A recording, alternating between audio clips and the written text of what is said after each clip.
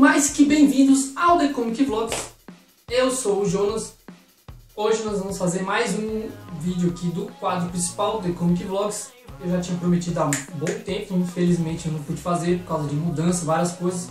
A gente ainda está aqui meio no processo, mas eu não vou estender esse assunto.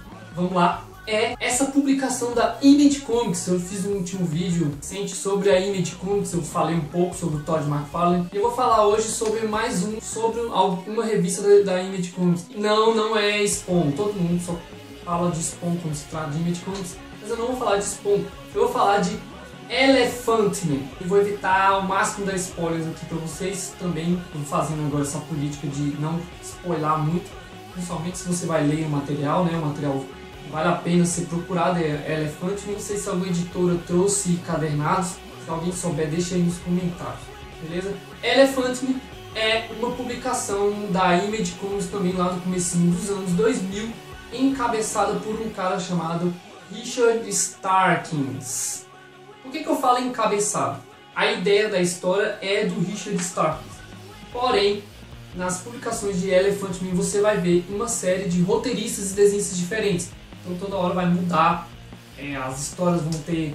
As histórias têm um arco principal, existe uma história principal, mas também é episódico, ou seja, cada capítulo às vezes tem vários capítulos intercalados no meio que não tem obrigatoriedade na linha do tempo da história.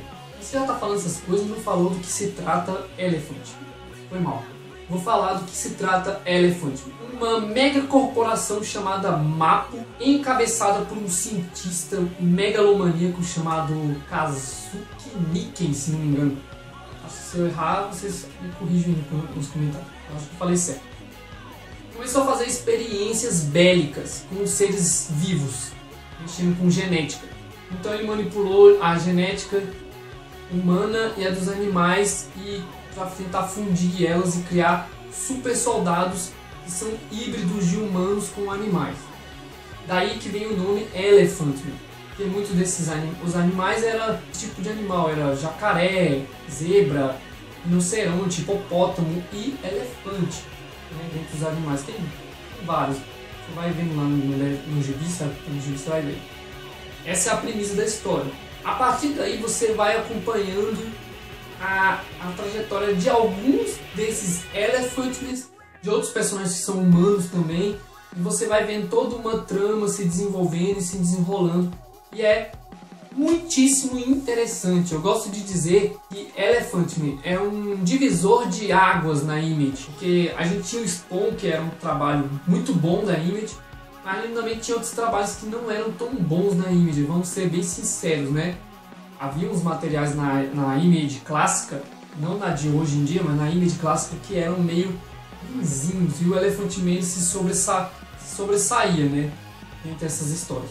Mas acho que também o Elephant Man, se não me engano, foi o primeiro a abordar uma temática mais fora da caixinha, né, porque o Elephant Man aborda temas delicados, tá? Essa questão da genética, o que o ser humano pode, o que não pode, brincar ser uma brinca de Deus, é, e depois envolvendo até coisas mais humanas e mais cotidianas também, porque esse, alguns desses elefantes são introduzidos na, na nossa sociedade, aí tem a repercussão sobre isso tudo. Eu não quero dar spoilers para vocês sobre o Elephant Man, é uma leitura mais que recomendada, pode chegar a ser um pouco pesada às vezes, então eu acho é, se você tem, se você é muito você não é uma pessoa é muito sensível tudo, eu acho assim as melhores, algumas coisas não você não vê.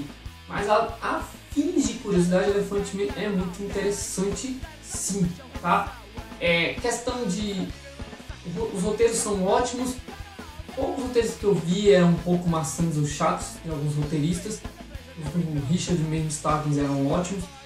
É, a arte varia muito, então às vezes você tem um desenho meio meh, e às vezes você tem um desenho que é incrivelmente bonito. Eu vou deixar algumas imagens aqui para você, vocês verem das artes.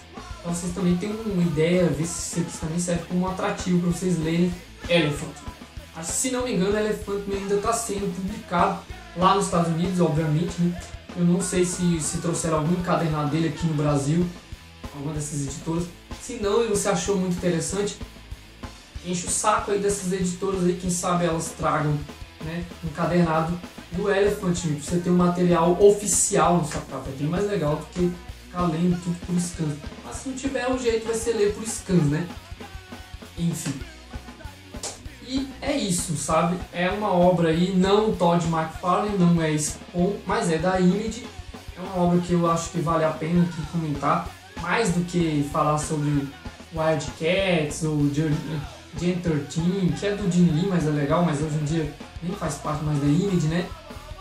Tem outras obras que eu pretendo trazer da Image aí também no futuro, que são dessa nova Image, como por exemplo A Vermelha, que é interessante, The Walking Dead, que eu fiz uma mancada no vídeo anterior e falei que era da Dark Horse, mas é da Image.